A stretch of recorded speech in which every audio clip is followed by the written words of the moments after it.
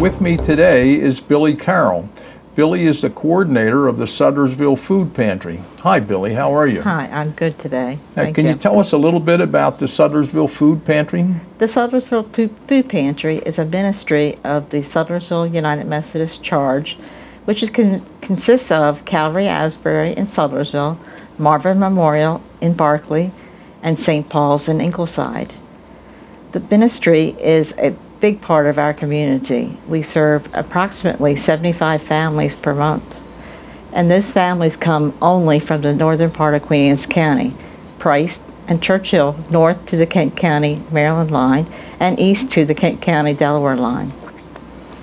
Uh, can you tell us how, how can uh, someone get it in touch with the food pantry or what do they need to come to the food pantry to get something? We require our participants to go and be certified through the Department of Social Services. We follow the federal poverty guidelines so that they should be eligible through income. We also accept vouchers from um, the schools in our area or the Family Support Center or the Health Department and possibly the Department of Aging. All right, where are you located, Billie?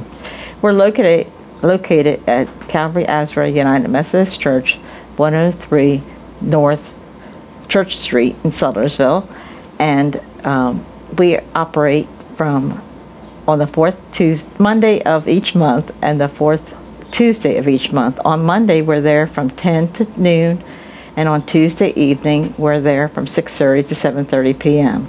That way, we can handle both people that are working and also non-working.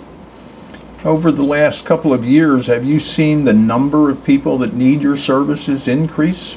Yes, we've seen a dramatic change over the last few years. Particularly when the recession was at its greatest, we saw people come sporadically in need, but now it seems that we have a consistent number of approximately 75 families.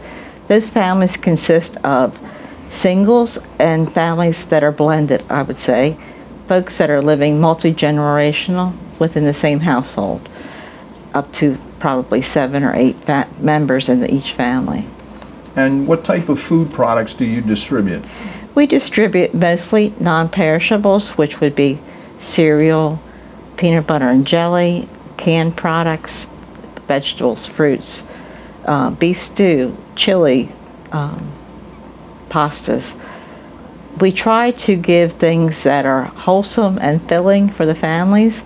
Um, and right now we are in partnership with the Millington Food Lion. They have been gracious to provide us with their excess bakery and deli products. We receive those foods three days a week. And what we do is we freeze them each month, and then on the day of distribution, we bring them out for the folks to choose from.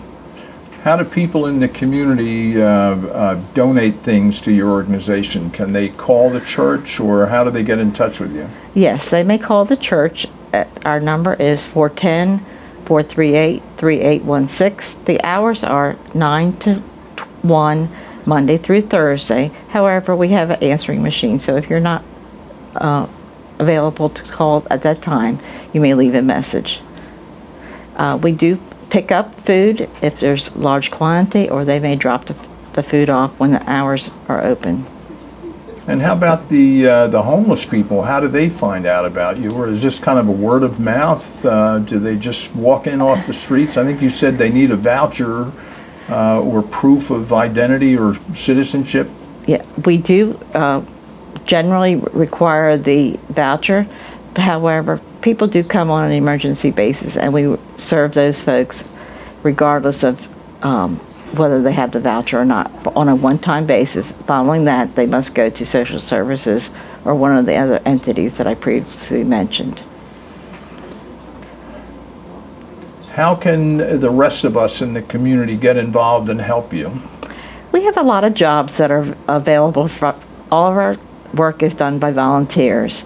Uh, my husband and I do most of the shopping for the, the food. Uh, we always accept monetary donations. We also have volunteers that come uh, the day of the distribution. They come early in the morning and they help us pack the bags that are uh, distributed to the folks that come at 10 o'clock.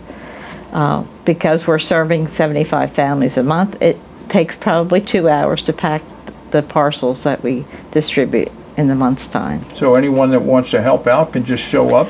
They could show up, or they can call the church and, and um, ask whether we need volunteers a particular month, or uh, we generally never turn down a volunteer because there's always something for us to do. And sometimes they're busier than others. In the fall, we have um, Thanksgiving, we do a turkey drive so that uh, we do have a lot of extra help at that point. Tell me again, what are the hours that the uh, food pantry is open and what days are they open? The pantry is open generally, except for holiday uh, months. We the fourth Monday of every month, 10 a.m. to noon, and Tuesday evening, 6:30 to 7:30. The fourth Tuesday. Now, will your organization be involved, or how will you be involved in the uh, program that's coming up in October, the Make a Difference Day here in Queen Anne's County?